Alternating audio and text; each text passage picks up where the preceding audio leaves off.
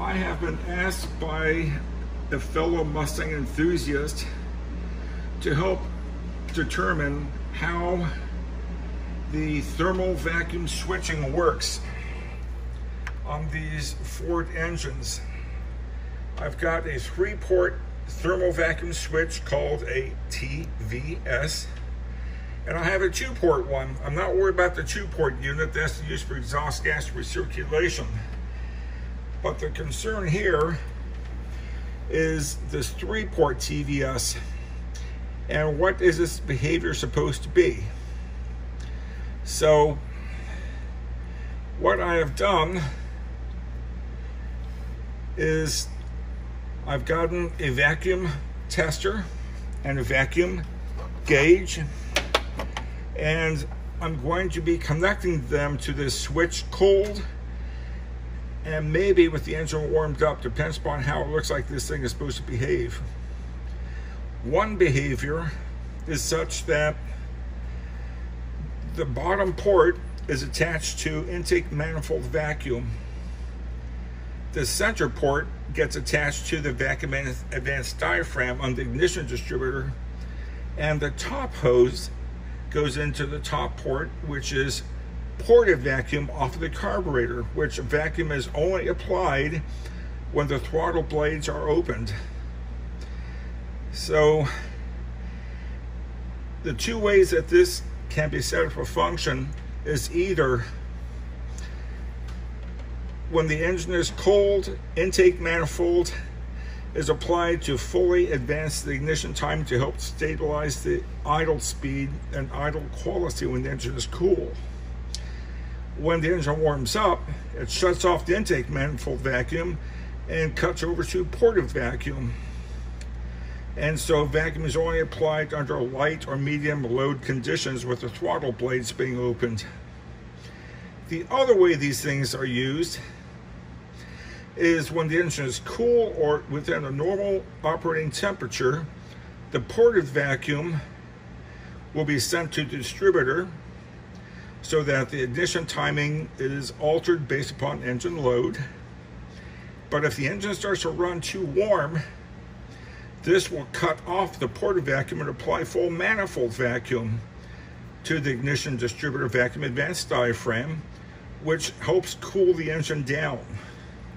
I'm not sure which configuration this was set up for, so I'm gonna test. But before I test that, I'm gonna take off the hose from the vacuum advanced diaphragm, connect my tester, and I want to make sure this vacuum advanced diaphragm is working or is not leaking. I apply some vacuum and I see that the needle is holding steady. I'm gonna go and purge it. If I could not have pulled a vacuum or if that needle was moving, losing vacuum, that would show me that the vacuum advanced diaphragm is leaking or is ruptured. And often when I used to work as a technician, I had cars that would come in. I would almost always test the vacuum advanced diaphragm, especially if our customer came in for a tune-up or a complaint about poor fuel economy. And more often than not, the vacuum advanced diaphragm will have been ruptured, needed to be replaced.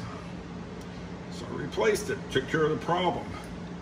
But anytime we get a car, an older one, I always take the time to go ahead and test the vacuum advanced diaphragm to make sure that it is working properly. In our 6.9 Shelby, I had to replace it. It was not working properly. So my fuel economy was probably five or six miles a gallon at the time. Once I put it on with a new unit, our fuel economy jumped up to big whopping eight miles a gallon. okay, I'm gonna plug in the vacuum test gauge to the center port, which leads to the vacuum vent diaphragm. The top port is for carburetor ported vacuum. So I want to see when the switch is cool, is it sending vacuum? And it is. So it looks like the configuration for this vehicle is such that cool and normal operating temperatures, ported vacuum is applied to distributor. If the engine starts running too hot, it looks like it would be manifold vacuum that gets sent down to the distributor vacuum advanced diaphragm in an effort to help cool the engine down. I will see what happens here. Plugging into the manifold vacuum port, I apply vacuum. Vacuum is being held, nothing coming through. So the switch is working in that way. Now, what I don't know is the thresholds of temperature when this TVS will cut from ported vacuum to manifold vacuum. The thermostat is designed to run 192 to 195 degrees. So my guess is this switch will change, flip over from ported vacuum to manifold vacuum somewhere north of 200 degrees.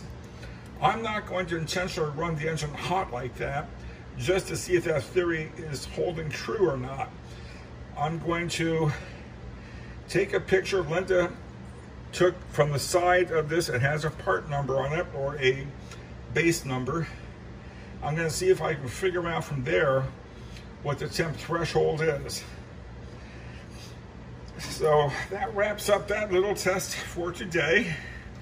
I should mention that a lot of folks who don't know how these things operate, they will bypass the TVS and go from ported vacuum directly into the manifold or the um, uh, uh, the um, vacuum diaphragm on distributor. That will work. It'll work fine, just like this TVS works fine under normal and cool operating conditions. But it takes away the ability for the engine to go to full vacuum advance when it starts getting too hot. May or may not ever be an issue. Me, I'm not necessarily a purist when it comes down to emission control designs and engine controls, but this is one of those that actually like a um, PVC, positive crankcase, a PCV, positive crankcase ventilation system, actually they do more good than not. Nothing wrong with keeping the stuff in play. So I'm not going to go disconnecting things and modifying them on this setup. It's look, looking like it works, it works well. All right, time to put the toys away. I think I'm done. Okay, end of video.